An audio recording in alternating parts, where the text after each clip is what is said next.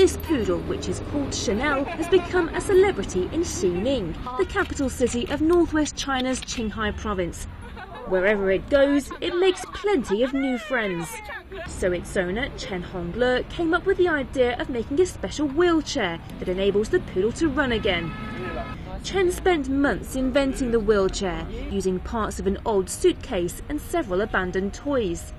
Chen also attached a bell to the wheelchair so that passers-by can watch out for the little dog. The wheels were removed from an old suitcase. The material is pretty durable, so they make quite a loud noise when they roll. It wasn't easy for her to get used to this. It took a lot of practice.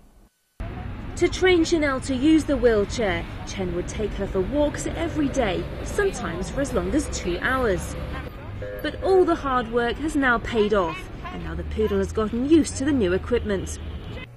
Chen has taken many pictures and videos of Chanel in the wheelchair and uploaded them online.